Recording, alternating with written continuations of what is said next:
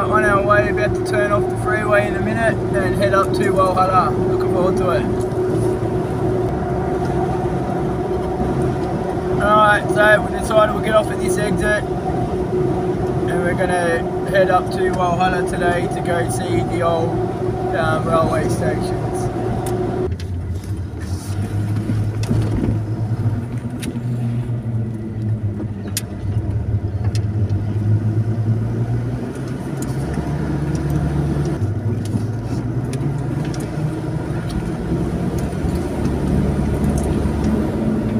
Alright, that's the end of concrete jungle for a little while.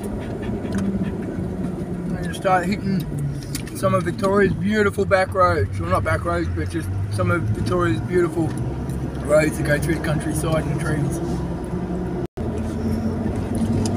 Don't know if you can see the ranges in the background, but we're gonna head up and over them and go out more north from there. I just find it, I just find Ah. it very funny. Walhalla, here we come.